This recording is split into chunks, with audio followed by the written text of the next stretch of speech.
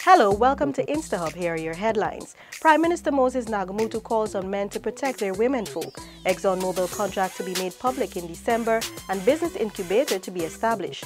GuySuCo's budgetary allocation to keep several estates going and industry viable. New standard operating procedures in place to effectively manage police's fleet of recently donated vehicles. $1.7 billion budgetary allocation reiterates the government's commitment to youth. First batch of cardiac ICU nurses graduate. Minister of Business Dominic Gaskin describes Budget 2018 as benign and internet connectivity for hinterland and remote communities closer to realization as government and UNDP sign a MOU.